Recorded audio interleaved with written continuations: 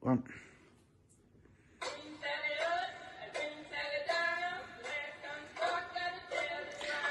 Today's Wednesday. It's hump day. It's squat day. It's move for wellness. And we're doing the bring Sally down, bring Sally up squat challenge. So when it says down, you squat down. When you say up, you go up. Squats are good for your abs. As this is abs week, it's very appropriate. As I always say, make sure you keep your back straight when you squat.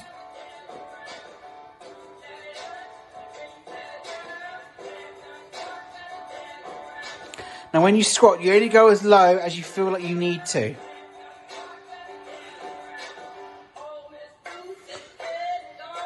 And as it is, as the up Sally up or bring Sally down challenge is, you only you squat down on the word down and you come back up on the word up. As you can see, sometimes there's a gap between the up and down.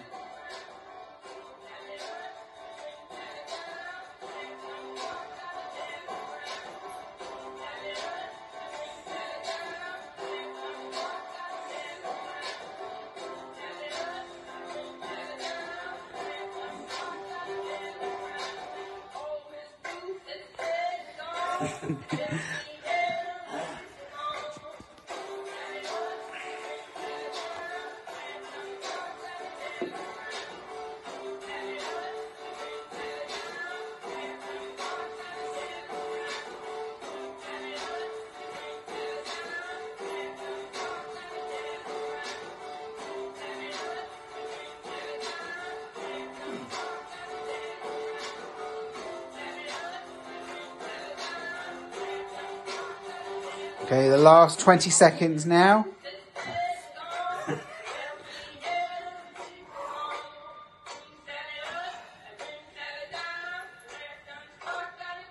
Last 10 seconds.